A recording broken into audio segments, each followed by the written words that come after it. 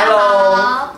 今年是我们身体智慧十周年的纪念日喽。今天我们要跟郑老师一起来跟大家分享一下，呃，这十年来的一些小故事。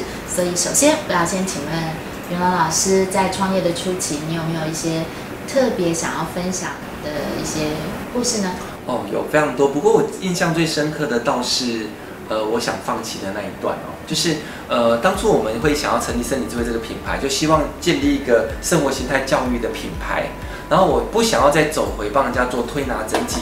这一种医疗的路线，我希望能够做教育，让民众在生活中经过课程的体验，能够真正的改变。可是初期啊，真的非常的困难，我们是招不到学生的。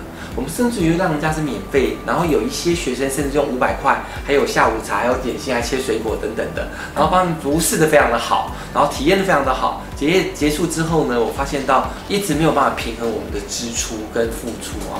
那等到正式收费的时候呢，我们就印了好几千份的印刷品。我们相信一定可以成功的。结果我们发出去夹报纸、呃投信箱等等的，最后都石沉大海。当我看到这么多印刷品，我不得把它丢掉的时候，我心里是很痛的。我心里想着，也许这个社会还没准备好，要借由学习来创造健康。所以那时候是有想放弃的念头啊。那还好，那时候我们已经准备了另外一期。那教完课之后，那一期所有的学生跟我们的互动非常的好。一个一个跟我们握手说：“老师，你们做的太棒了！你们在做的这个课程，就是他们找很久都找不到的课程，请你一定要坚持下去。”我受到他们的感动，也鼓舞了自己，坚定了自己的信念。也许是我们的扩展跟影响力太小，所以我们决定要好好的从事这件事情，然后让这理智慧坚持到现在。所以我要感谢所有的支持我们的朋友们，还有学员们，还有我要最谢谢跟我创业的伙伴，就是我爱奇艺 B，因为你的坚持，我们的坚持，我们走到现在。到现在呢，全世界看得到 YouTube 的地方都可以看到身体智慧的频道。我们已经累计超过一千九百万个点阅人次。